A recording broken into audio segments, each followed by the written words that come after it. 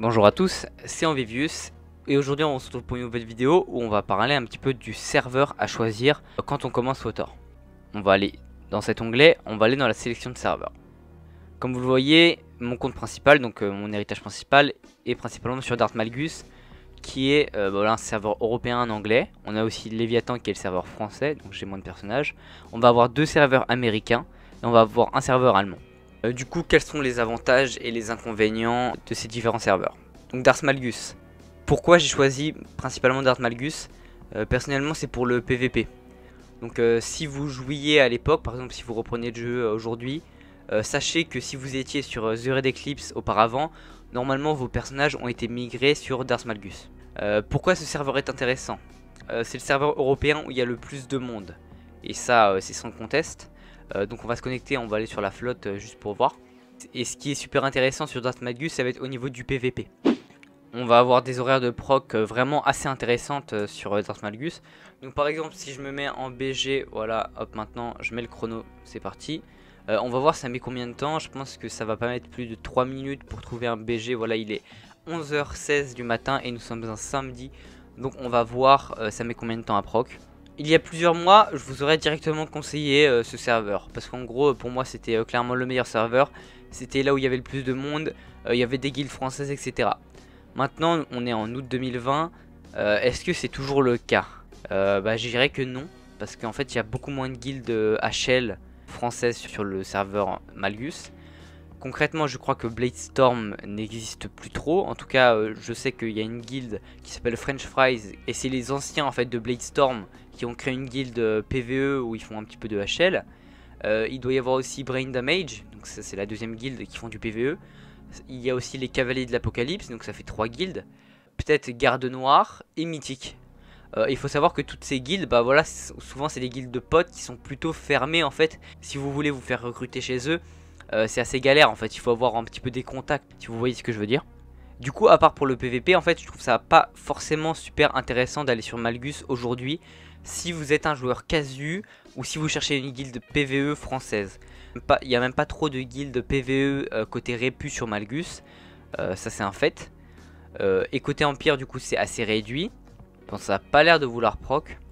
Donc moi je trouve que Malgus est extrêmement intéressant déjà pour faire du, PVP en journée. Euh, notamment. Euh, bah voilà, parce qu'on va aller sur, euh, sur Léviathan tout à l'heure et vous allez voir que c'est assez galère en fait du, de faire du PVP. Voilà, on a proc, on a mis exactement moins de 3 minutes. en journée, il est 11h, on a mis 2 minutes 59 à trouver un BG. Bon, je vais pas le prendre. donc voilà, on met. Vous voyez que la recherche de BG est pas ultra ultra longue. On va aller sur Léviathan pour voir. Et puis aussi, ce qui est sympa sur Malgus, c'est qu'on peut faire du PVP bas niveau. Euh, et il y a aussi énormément de classés, enfin énormément.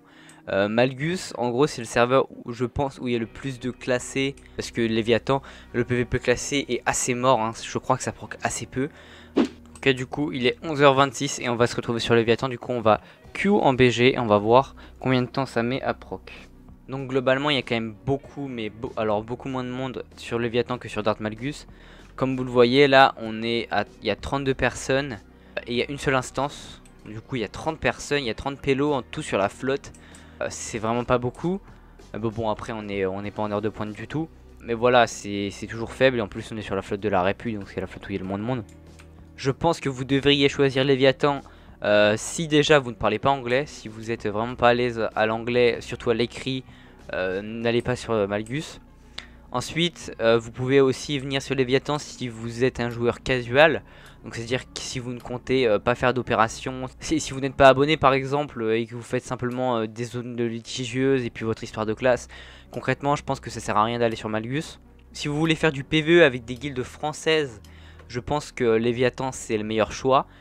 car il y a assez peu en ce moment de PvE sur des guildes françaises sur Darth Malgus. En tout cas c'est ce qui est sûr c'est qu'il y a moins de 10 guildes qui font du PvE HM Nîmes sur, sur SWTOR en français sur Malgus. Par contre, si vous voulez faire du PVP et surtout du PVP classé, euh, je pense qu'il est impératif d'aller soit sur le serveur américain, soit sur le Malgus. En gros, les serveurs américains, c'est un peu pareil que Malgus. Le problème, c'est qu'on va avoir vachement de ping. Donc, euh, je connais certaines personnes hein, qui aiment bien le serveur américain.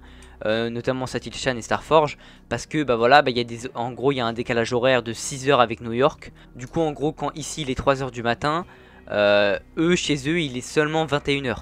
Nous quand ici il est 3 heures du matin et qu'il n'y a personne sur Léviathan, et bah concrètement vous pouvez aller sur euh, ou sur Starforge, parce que eux il est 21h, c'est l'heure de pointe, et ça va proc même s'il est super tard chez nous. Si vous êtes un nouveau joueur et que vous devez commencer aujourd'hui, franchement je conseille Léviathan. Si vous êtes un joueur déjà plus expérimenté et que vous êtes là pour le PVP, allez sur euh, Malgus. Concrètement, euh, c'est ce qu'il faut faire. Vous allez avoir beaucoup plus de proc, vous allez avoir plus de monde, vous allez avoir du classé, etc. Si vous voulez avoir des horaires de proc vraiment ultra larges, euh, avec un décalage horaire, allez sur les serveurs américains. en plus, les serveurs américains, il y a pas mal de monde. Hein. Et le serveur allemand, personnellement, je n'ai jamais joué dessus. Et je pense que je n'irai jamais jouer dessus. J'en vois aucun intérêt. Donc on va attendre le prog, donc ça fait déjà plus de 4 minutes que je me suis mis en file d'attente. Ah, nous avons eu un proc les amis. Euh, on a mis 8 minutes 30 à avoir un proc. Moi je trouve que c'est vraiment pas le même confort de jeu Léviathan. Euh, même au niveau des ZL, hein, si vous taguez en ZL, vous allez voir, euh, ça va être beaucoup plus galère, vous allez avoir moins de monde. Mais si vous voulez jouer avec des Français, bah, c'est la meilleure chose à faire. Voilà, du coup j'espère que vous aurez apprécié cette petite vidéo euh, sur, euh, sur les serveurs euh, du jeu. C'était en Vivdus et moi je vous dis à la prochaine pour une nouvelle vidéo.